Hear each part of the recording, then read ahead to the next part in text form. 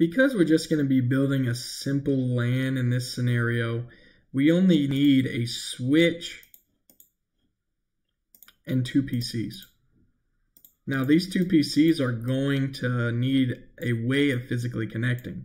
The end goal of this exercise or drill is to ping between these two PCs, you know, to test for connectivity. If you're a gamer, you may have seen ping when you look at the scoreboard or the leaderboard in a match um, you'll see like ping on the far right. That's just a test message, and we're going to do it. So if if you feel like you can do this on your own, pause the video now and challenge yourself to do it. Otherwise, let's keep going. I'm going to show you how to do it. So we're going to need some connectors. Remember the connections tab, that that uh, Harry Potter scar.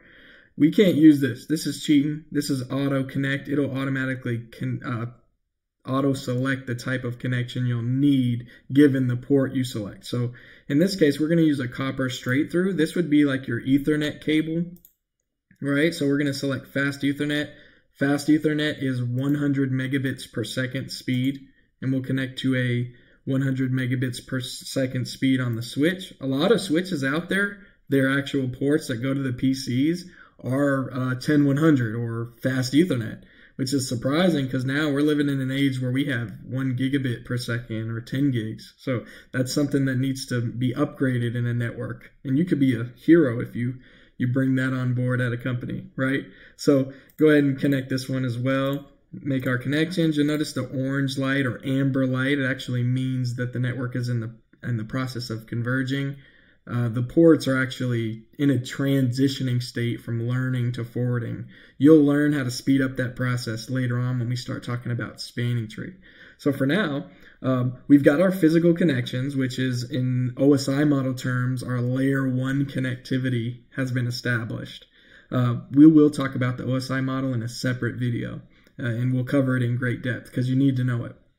Now that we have full convergence, and I could have fast forwarded time, but I just wanted you to get a feel for like some of the the you know waiting you have to do sometimes with networking uh, and in IT in general. So uh, with our connections established, we need something additional for ping. I don't know if you've ever heard of this, but we need an IP address.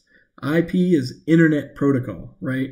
And that's kind of like a phone number or a house address, right? That you know, it's an identifier, a logical identifier that's designed to change. So let's do that. Follow along. I'm going to go into this PC. The interface is going to pop up. I'm going to go ahead and go to desktop, you know, give it IP config, give it an IP address. I'm going to use a standard class C address, and IP addresses are broken into different classes. We're going to use a class C, which is the most common. I'm going to give this one dot 10. You ta hit tab and it'll autofill. It'll autofill if you put your cursor in there too. That's a subnet mask. Now, the subnet mask is like an area code uh, where the IP address is like a phone number, right? So default gateway, this would be the address we'd give a router if we wanted to connect to the internet.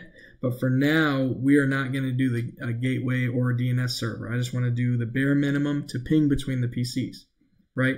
So let's keep going give this PC an address? And if you had to guess, what would you give this PC? I'm going to go ahead and give it a, a dot 11. Remember, no devices can have the same address if they're on the same LAN or on the same network, right? Same subnet mask. Because really, let me break down this before we really dive into IP addressing. I just want you to know that this subnet mask specifically defines the network portion of an IP address and the host portion. The network portion is like the the identifiers that need to match on the same network. A host is what actually can change. So know know this, wherever there's a 0, that's a host. Wherever there's a 1 or a network bit like 255, that will need to match, right? That will indicate that you're in the same network. So now that we have those, let's go to command prompt. So I'm going to go ahead and go to command prompt here.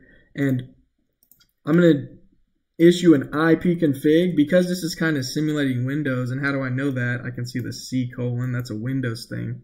Um, be, uh, because it's simulating Windows, we're going to use Windows commands like ipconfig. But if I was on Mac or Linux, I would use ifconfig, which is interface config. ipconfig is uh, Internet Protocol configuration. So you see we've got the IP address set. Um, I know on this one I'm going to confirm that as well. Usually this is uh, something that I, a DHCP does for us. It'll assign an IP address, but because I want to give you an idea of how this works, we're doing it statically, which is manually entering in the IP address. Cool, both of them those settings took. So I'm going to test this connection. Let's do ping 192.168.0.11. Enter. Oh, sweet. I got some replies. So notice how many replies I got by default. I'll press up and see if that's the same each time. On a Windows-based system, ping sends four messages. And I know this is a successful reply because it's giving me statistics, right? And also look down here at the ping statistics. It's telling me I sent four, received four, and lost none. Sweet. So congratulations, you just built your first network.